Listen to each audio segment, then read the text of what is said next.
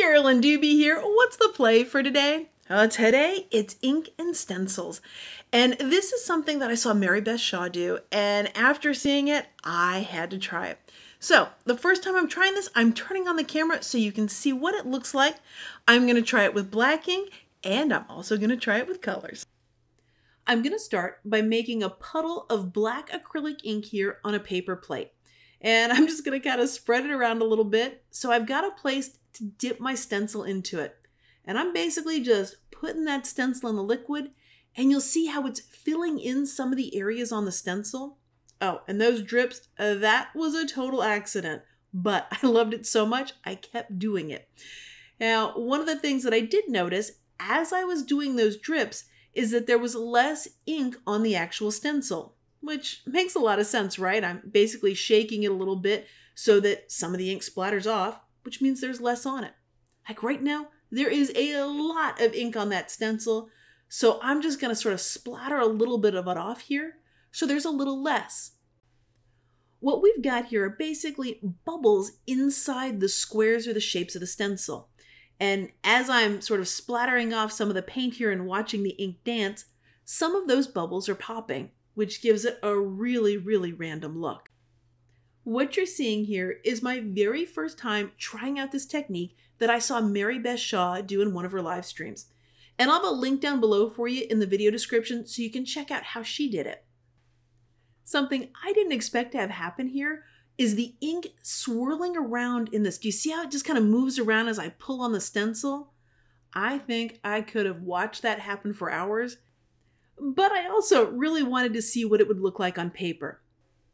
I want a few more of these squares to be popped, and they just don't seem to want to pop, so I'm just going to stick a paintbrush to them, to them, through them, so that they pop, and I only have just a couple of them on there, sort of randomly placed around.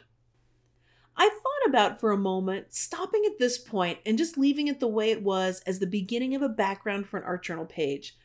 But I was just having way too much fun and I want to just get a feel for how this stuff works. Again, since it's the first time trying it out, I'm just going to put a whole bunch more here on the page.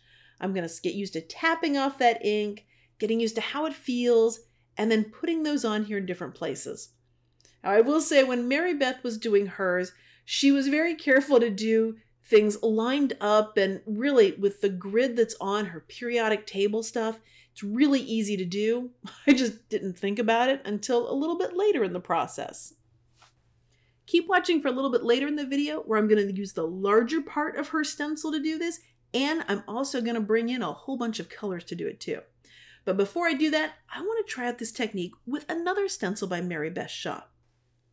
This one's called Trapezoid Squared, and it has a very Frank Lloyd Wright feel to it. She created it after being inspired by some wrought iron gates, and I can't wait to see how this looks with a bunch of that ink and grunge kind of look to it. Now, by the way, if you're worried about wasting ink, any that's left over on the plate when I'm done will get poured back into the bottle. But what I found is you do need a pretty decent puddle there if you want to grab different parts to go on the stencil. It's got to be enough that you get that bubble effect happening within the different shapes. There is one thing about this process that I am absolutely not loving at all, and that's my paper plate. It is a really, really cheap, lightly coated paper plate, and it's, I'm just not loving it. The plate that I saw Mary Beth using in her live stream, that was a little bit larger and it's definitely a heavier plate than what I have. And I can already tell that the plate is starting to warp a little bit from the moisture, which tells me it's soaking into the plate. And I'll bet if I had a sturdier one with a little bit better coating, that probably wouldn't be happening. But the best art supplies to use are the ones that you actually have, so that's why I'm going to keep right on going, even though my paper plate is imperfect. What it does mean though is I probably need to put a little more ink on there like what I've done, just because some of it's absorbing into my cheap paper plate. Now, the next stencil I'm going to try here, this is one that I created for over at StencilGirl Products, and it's called Overlapping Hearts. Even though this stencil is larger than the plate, I can still use it. You'll notice how I'm just putting one corner of it in the ink. I'm just picking one area, as opposed to trying to get the entire stencil on there. This background is already starting to call to me, and I'm on the fence. Should I leave it with lots and lots of white space on it, or should I add a whole bunch of color to it? Let me know in the comments what you think I should do to this next layer once it dries. Well, now I can't get color off my mind. I'm thinking about it with that page. So I'm going to try using some spray inks here to do the same technique. What I'm using is Art Spray by Marabu. And the reason why I chose that one is not only do I love their colors, but that when it dries, it's not water reactive. So once it dries, it's going to stay where I'm putting it. Now it's time to bring in the big periodic table mask here because I want to see how it does with all of those squares there. I'm going to pop a few of them just so I get that random kind of vibe to it. And I'm going to place it down on the page just like I did with the smaller one. The technique's exactly the same, the stencil size is just a little different.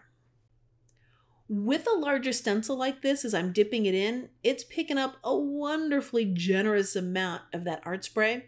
So that's why I'm shaking it off a bit here, just so there isn't quite as much ink on it, so that when I position it, and maybe do a splatter or two just because it's fun, I won't have quite as much ink happening when it goes down. If you have a lot of ink on it, it will run a little bit more than if you have less ink. I was very generous with the puddle that I created in the plate in there of the art spray, a little bit more so than I think I was with the acrylic ink. So that means I'm going to have a bunch of it left over here when I'm done, and I'm not going to waste that. What I'm going to do is actually put it right back into the bottle. And nor will the paper plates get wasted either. Either once they're dry, I'll use them for something else, or I might tear them up and rip them up and actually include them in something like an art journal or a collage. I'm going to put three colors on this by the time I'm done, and it's the same stencil that I'm using. So how am I keeping the color cooties from contaminating that blue that's there on the plate? Because if I've got a bunch there and I want to be able to pour it back into the jar when I'm done, I kind of keep in my mind the risk of contamination from one color mixing to it to another. Now, I'm not crazy crazy about it, but I keep it in mind. And so to keep those colored cooties from turning it too purple, I actually took that stencil and blotted it off off camera where on just a random art journal page and kind of wiped it down so that it was dry and didn't have any pink on it. But the next color, I'm not going to be able to completely stop the cooties. Pretty much in the blue, it's still blue, and any excess here I can put back in the jar. But that's not going to happen with the next color. Last color I'm going to bring in is yellow. And now that we've got the red and blue on there and where they overlap, little touches of purple.